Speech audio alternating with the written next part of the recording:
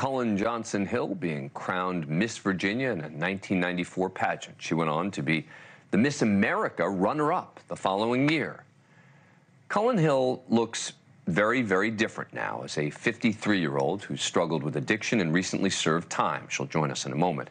She's opening up about alcoholism and her still difficult journey to sobriety. She posted this video on TikTok that has gone seriously viral. Um, my name is Cullen Hill, and this is what addiction looks like. So, um, I'm going to put this on TikTok because it's important. I am an alcoholic, and um, I've been struggling with this for since I was 24, and um, I just got out of 30 days in jail. Um, I thought I'd give myself a trim when I got out of jail, just, just spruce it up a bit. But um, I'm okay. I'm not okay, but uh, figuratively. I was in jail and um, I had told them this, this, was for a second DUI. And I had had four and a half years sober. My husband is sober, and um, we got sober 12 years ago together. And um, he has stayed sober, and by the grace of God, I'm lucky that he has stayed with me. But um, uh, for whatever reason, the devil keeps taking me back to drinking, and it's not worth it. So I'm done. It's not worth it. Raw, emotional. I was truly moved by this video. And she had a message for those struggling with addiction. I just wanted to give a message to all of you um, to let you know that there's hope. Um, I'm going to be okay. I have a wonderful son and a husband who loves me very much, but um, I just want to say uh, please, if you are relapsing, stop. Um, I had four and a half years sober. I know what sobriety is like, and it's wonderful. Please just trust me. I, have lost so many friends to this disease, and it's not worth it. And now Hill is going to do her best to stay sober. Cullen Hill joins us now. Thank you so much for being here. Really appreciate it. Um, first of all, uh, how you doing, and what has the response to your video been like?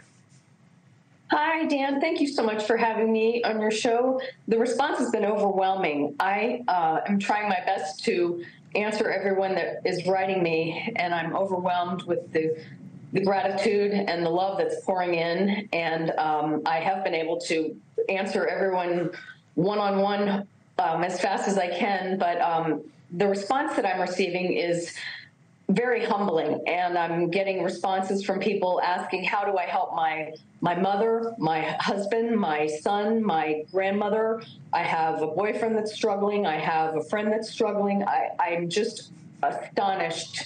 And um, i'm so grateful because i feel like i have a purpose and i i never in a million years expected to receive I, have only received maybe one or two snarky responses, um, but uh, every single person is just boosting me up and telling me thank you so much. And i've received a, quite a few that are people that are afraid to go to meetings and i'm encouraging them to maybe try a zoom meeting or um, people that are just curious about meetings and i'm explaining to them that um, there are things called open meetings where you, you can go where um, anyone that doesn't have to be an alcoholic can go to a meeting and sometimes people that are doctors go just to see what it's like you know let me so, let me ask you what what pushed you to make this video? I mean, you, you, you look um, better now than, than you did on, during, during that during that video. Um, you know, you. what led you to to want to make that video and put yourself out in that way?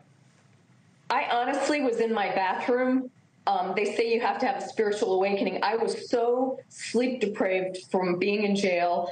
I withered to the floor in my upstairs bathroom, and I, I honestly just was like, I looked up, and it, I don't know if I was delirious, but it looked like the lights in my bathroom formed like a cross, and I, I was like, God, please help me.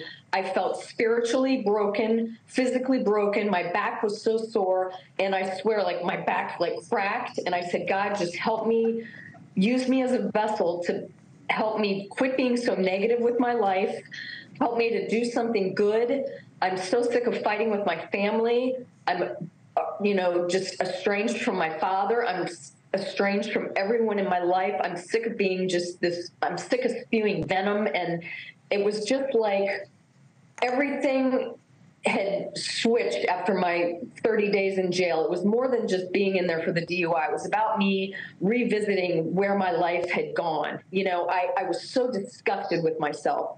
And right after that, it was like I I just got up and I looked in the mirror and it it was like I went on automatic and I went and I just picked up my phone and I was like, that's it. I'm just doing this. You know, it's got to help somebody. And it was like I, I was just driven to do it and I did it. Thank you for watching. Go to newsnationnow.com to find News Nation on your cable provider. And don't forget to click the red subscribe button below to get more of News Nation's fact driven, unbiased coverage.